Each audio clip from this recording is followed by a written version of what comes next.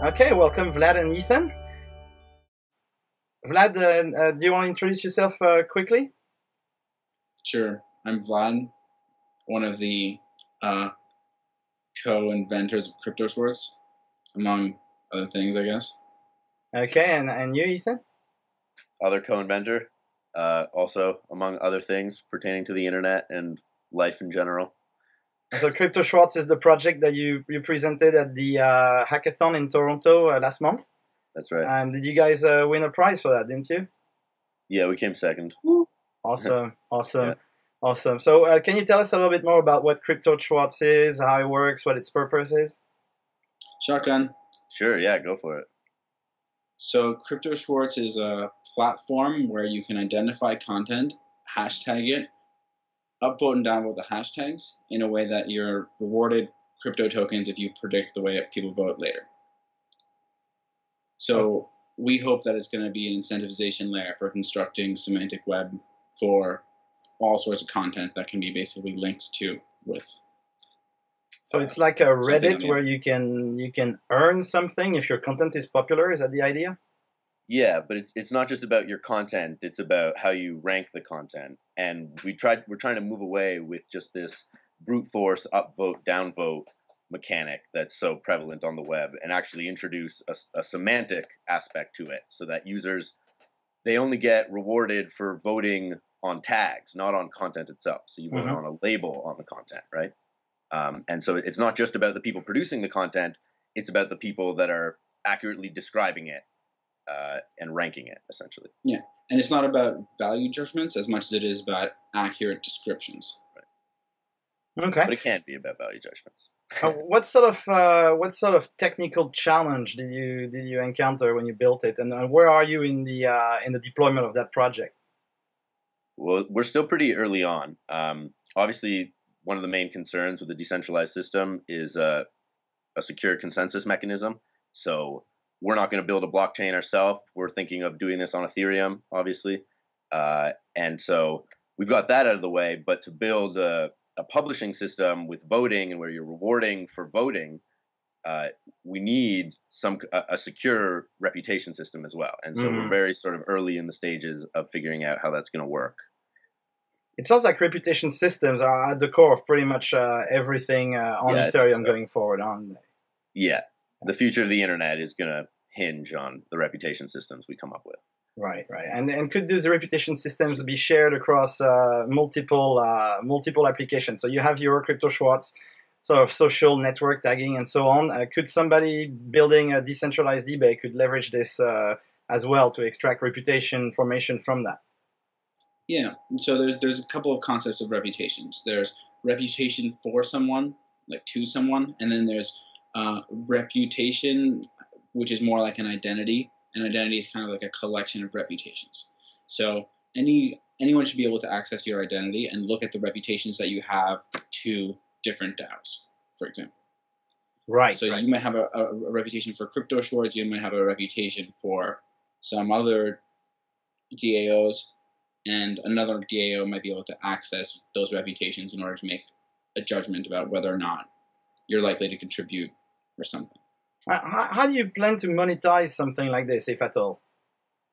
It's self monetizing, right? So, so the way crypto Schwartz works, that y- the tokens that are issued for predicting other people's votes are the tokens that are required to use the system. Mhm. So it's if the system is fun to use and people love it, then the tokens are going to have a price, Right. and it's going to be monetized for the users based on their accurate, you know, uh, socially predictive use of the system. Right, and that, that's the users obviously uh, benefiting from having identified uh, early either acts, uh, content producers, and so on. What about you guys? Do you get a cut of this? If so, how?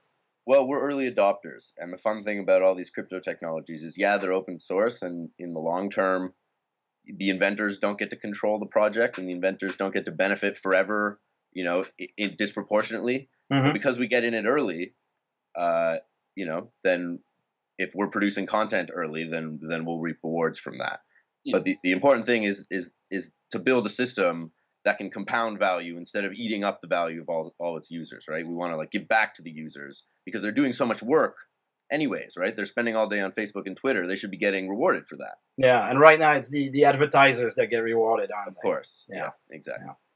All right, that makes sense. Are, are you guys uh, another sorry, way? Another sorry, an- another way to that we can monetize it in a sense is that so for anything living on Ethereum, you need to pay expenses in Ether, Mhm.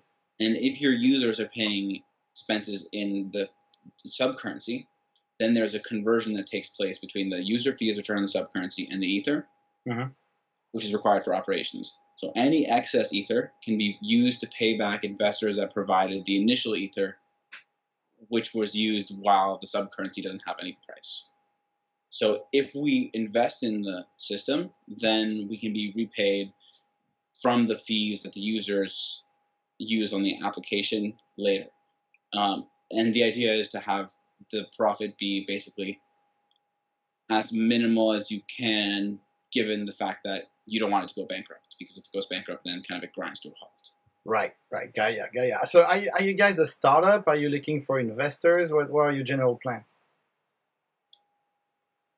We're discussing it. So right now, my favorite model is to have a nonprofit that starts up DAOs or DACs, and um, where you can make profit in those DACs, but those are a separate entity from the nonprofit which funded their development, because the development itself actually can't easily be directly funded by the investors in the DAC unless you pre-sell shares in the DAC, and that has you know legal Consequences. con- consequences or Mhm. implications, or uh, or it kind of might exist in a legal context that's cumbersome. Gaia, Gaia. Uh, how do you how do you see the sort of the future of crypto Schwartz unfold? I mean, do you have a, a release schedule? Obviously, Ethereum is not live yet, so it's not until Mhm. December, I imagine. Right. Well, you know, so so we're sort of working on our own version of uh, the Pi Ethereum client, uh, and sort of making it work for everything Crypto Schwartz needs, so that we can test it on our own. Um, but like I've said, sort of Crypto Schwartz going big is going to depend on us solving a num- number of technical problems. The Mhm. main one probably being reputation. Another nice one would be uh, data hostage and storing to be able to monetize that or incentivize that. Um, but you know, in the coming year, we'll probably see this thing live somewhere. It'll be centralized to begin with, and you know, we'll try and bootstrap it to get some trustworthy people putting reputable content on it, so we can sort of test out the dynamics of the thing, and you know, basically have a test net going. I'd say in the next year or so. All right, okay, brilliant. Yeah. Uh, where can people learn more about this? Is there a blog po- po- blog post or website or something? like that? We have some Google Docs, but we're working on uh, putting everything together in a, a sort of nicer presentation. Yeah, we're our- still we're still in the research stages in terms of right. figuring out how it'll actually work in a way that's not exploitable. Like the way we initially designed it at the hackathon as a proof of concept turns out it had a had an attack vectors that could be exploited by an arbitrarily small group of Right. users. Okay, Right. fair Um, enough. Yeah. Fair enough. yeah. So I mean, like that's an issue, and we kind of addressed it at the, the hackathon, but we didn't really realize how big of an issue it was until you know, more thought was put into it. Right. Um, I think maybe this interview will be a really good source for people to Mhm. uh, learn about Crypto shorts. Schwartz. Mhm. Um, here's a really neat aspect of Crypto Schwartz uh, is that you don't need cooperation from the platform who's hosting the data that you're hashtagging. So if you post a really great Facebook status update, I can identify that, you know, if it's public, and then people can upload and downvote hashtags on it, and then uh, we don't need to use we don't need to compete with Facebook's network effect to ride on their network effect. And then Right. if Facebook is so kind as to give you an Ethereum public key, then we can give you tokens if a lot of attention is drawn to your status update. And then we, we don't need to negotiate with Facebook for that, but they, if they want to benefit their users, will be so kind as to you know maybe give us a little like logo with a little hashtag thing on it, or Yeah. at very least a public key. That's awesome. That's awesome. I think you're gonna get a, a phone call from Mark Zuckerberg just after publishing this this interview. I think.